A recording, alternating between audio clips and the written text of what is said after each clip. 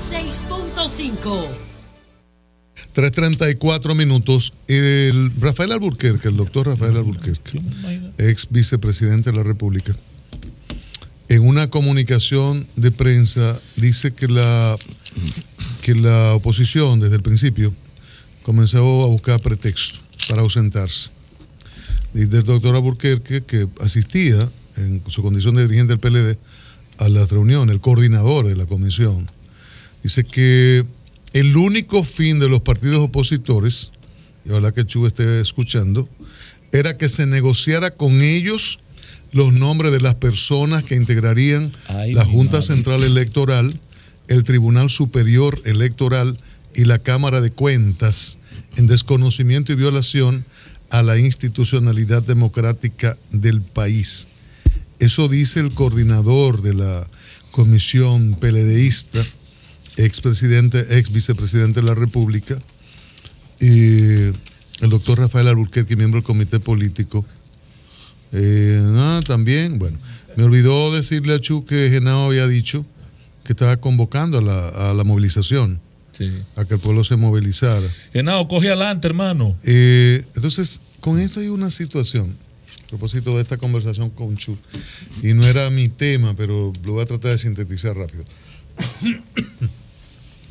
Dice Chu, y Pablo de inmediato le corrigió, eh, de lo que dijo el informe de la OEA sobre las reformas, sobre reformas, reformas electorales, la de la ley de partidos políticos y la del régimen electoral, la adecuación a la constitución del 10.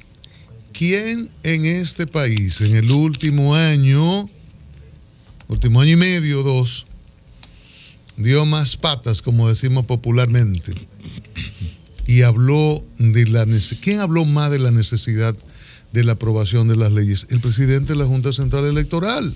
Dice, señor, esto es complicado, vamos a aprobarla. Y para aquí, para allá, con Agripino en el Congreso, con los empresarios en todos los escenarios.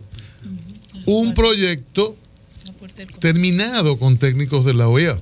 Entonces lo de la OEA no es nuevo, la OEA hizo una serie de recomendaciones a partir de lo, que vio, ¿no? Tenía ya las recomendaciones hechas, vio y agregó lo relativo a que se define el cómputo en la misma ley, el cómputo técnico, el cómputo con escáner o modernizado, lo que fuere. Pero ni hubo atraco, no hablan de atraco, ni hablan de fracaso tecnológico. Por eso leímos aquí el documento, lo repetíamos, incluso hablamos de la importancia de que la Junta, y recordemos que el presidente de la Junta saludó el documento, de que la Junta publicara un espacio pagado con el documento, porque había interpretaciones maliciosas y politiqueras del documento de la Organización de Estados Americanos, sobre todo el párrafo de los escáneres que decía, hubo lugares donde llegaron tarde, que los técnicos no se presentaron al momento en que debían y otro personal de la mesa, pero la Junta dispuso las iniciativas para corregir a tiempo este tipo de situaciones. Y en la recomendación entonces dice, dentro de la legislación vamos a hablar del conteo. Entonces, no hay tal atraco, no hay nada de esas situaciones. Y yo creo, como relaté hace un rato, y coincido con eso con el doctor Alburquerque, de que, como pasó en el proceso electoral, en ese escenario, la oposición desde un primer momento buscó una serie de excusas para retirarse. Que siempre ese escenario fue relativo a la ley de partidos y organizaciones políticas. Más nada. Salud.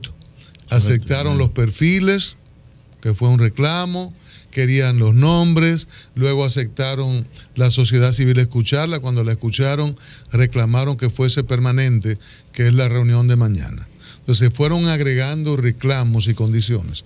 Y el último era, lo acaba de revelar aquí Chu Vázquez, de que Reinaldo se comprometiera a que lo decidido por el Pleno del Senado de que hubiese una comisión especial encabezada por Johnny Sánchez con eh, término específico para el depósito de documentos, entrevistas, que esa decisión de ese órgano del Estado se detuviese ante un compromiso verbal del secretario general del PLD, porque ellos querían más tiempo para perfiles. Pero ¿cuáles malditos perfiles? ¿Qué es lo que estamos hablando? Es, es a, al del- es es a la- es un técnico de la, esta, eh, la, De la autoridad del espacio, la NASA.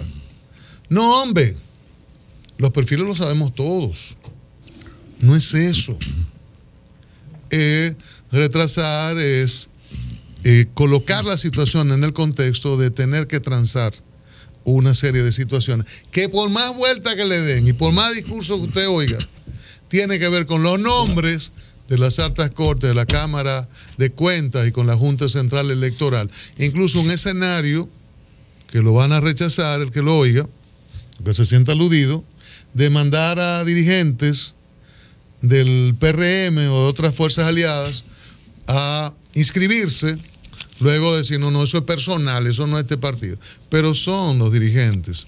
Y esos dirigentes ya elegidos, hasta haciendo un pronunciamiento de que no están con ellos, pero son sus dirigentes. Entonces, todas esas prácticas, todo ese, todo ese teatro se ha dado en esto y es una pena porque se va tinta y tiempo en los medios electrónicos eh, y la gente creyendo que van a ocurrir eh, cosas que nunca van a ocurrir, que son maño- mañoserías, habilidades de políticos curtidos y que han estado en un escenario y otro. Y siempre digo a propósito de que eh, mi amigo el gordito Genao fue el que llamó a, la- a las masas a la calle, que las elecciones del 10, del Defensor 12 de la institucionalidad, y esta, sobre todo la transparencia.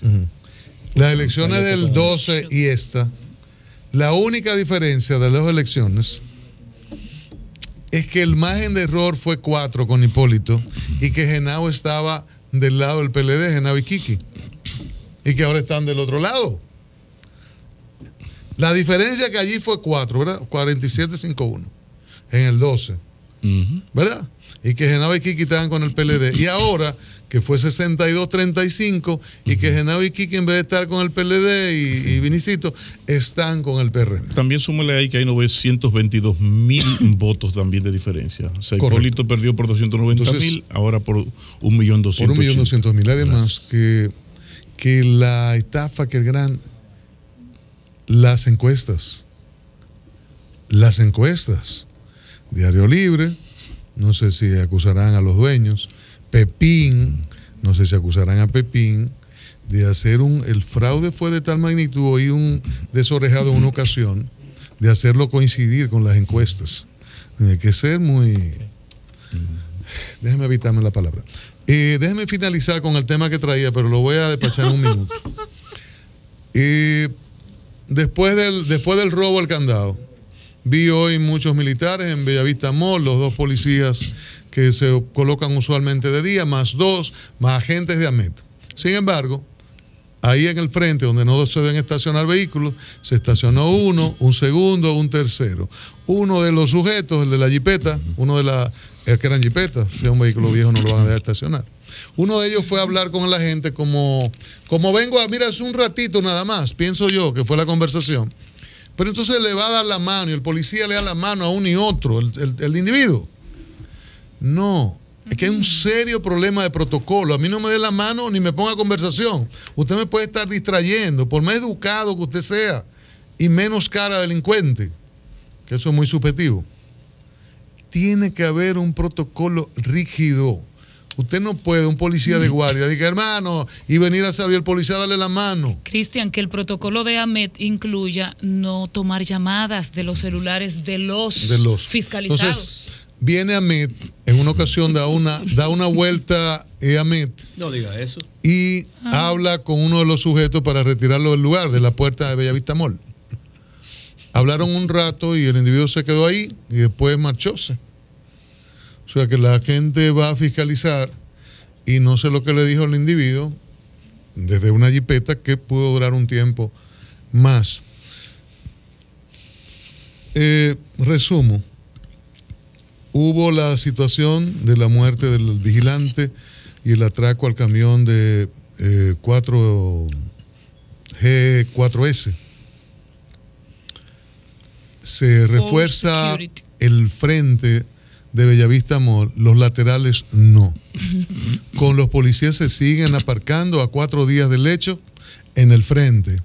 En los laterales ni hablar, donde yo no vi vigilancia eh, policial en las puertas laterales, por donde entra mucha gente que incluso van a actividades al banco y prefieren estacionar en la calle. Y usted también tiene que cuidar su, su dinero y su, y su vida, porque hay cuatro o cinco eh, pisos de estacionamiento, pero la gente quiere estar al frente de la puerta, que si lo metiera, pudiera meter el carro dentro de la plaza lo haría, o en los laterales, donde, sugiero, la gente de Bellavista Mall debería cerrar un pequeño espacio que hay donde los vehículos se estacionan en forma horizontal, diagonal, al sesgo. Eh, deberían cerrarlo eso, porque eso provoca mucho taponamiento cuando los vehículos van hacia atrás para tomar la vía norte-sur. Entonces hay que tomar una serie de previsiones, pero estas tomadas después del, atraco, o sea, el, candado después de, a los cuatro días ya se violentan. Entonces hay un asunto de protocolo, de, seriedad en la vigilancia, en, provocar, en dar seguridad a ciudadanos y a negocios. Eso tiene que ser en serio. No que el licenciado, mire, y un cuadre, y una mano, y unos besitos. No, hombre, eso no. Eso es otra cosa. Cambio y Morris. Son 106.5.